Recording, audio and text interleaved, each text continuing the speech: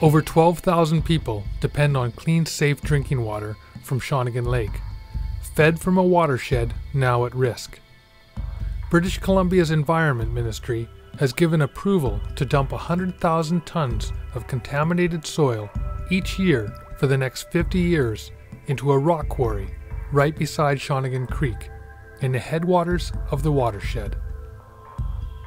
Toxic soil will be shipped from across BC and the Greater Victoria area, where ironically, its water, sourced from the Sooke Lake watershed, is granted protection from any kind of incursion that could put drinking water at risk.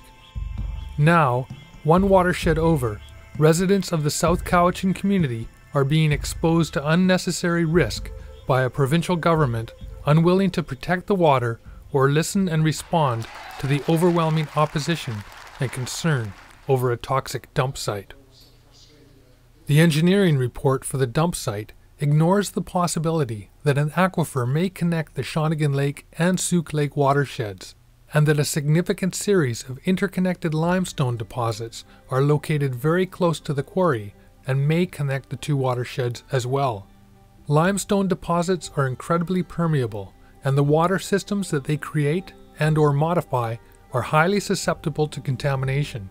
This dump site may very well lead to the contamination of Victoria's drinking water supply as well as contaminating Shawnigan Lake. According to opponents, it is not possible to guarantee dangerous substances won't leach from the dump and compromise water quality, public health and safety, and the economic well-being of the Shawnigan Lake community. This toxic soil dump defies logic and must be stopped. Don't let Shawnigan Lake become BC's toxic soil dump. Let the Environment Minister know that you oppose this project by emailing env.minister at gov.bc.ca. For more information and links to petitions and further action, visit the Shawnigan Residents Association at the SRA.ca. Safe, healthy drinking water is more important than profits for big business.